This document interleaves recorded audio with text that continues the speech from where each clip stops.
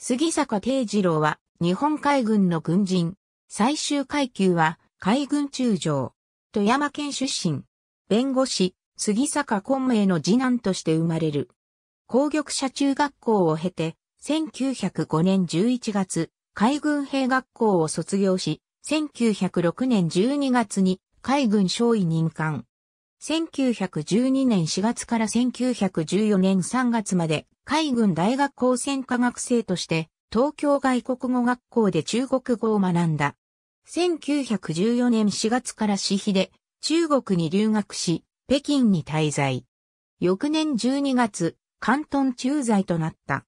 1917年4月、周防分隊長に着任。富士分隊長、軍令部出資、軍令部参謀などを歴任し、1921年12月に帰国した。1922年2月、平戸副長となり、ついで、春日副長を務めた。1923年3月、軍令部出資権第一県外艦隊司令部付となり、以後、第一県外艦隊参謀、佐世保鎮守府出資権参謀、品公主官付部官など、中国関係の勤務が続いた。1926年12月、海軍大佐に進級。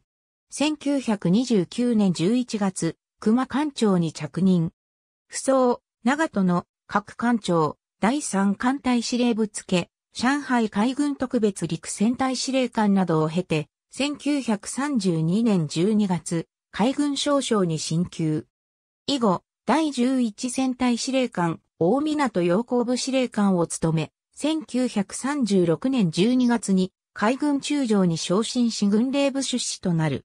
1937年3月、予備役に編入され、同年12月、東洋拓殖顧問に就任。また、1938年9月から1942年8月まで海軍省顧問を務めた。ありがとうございます。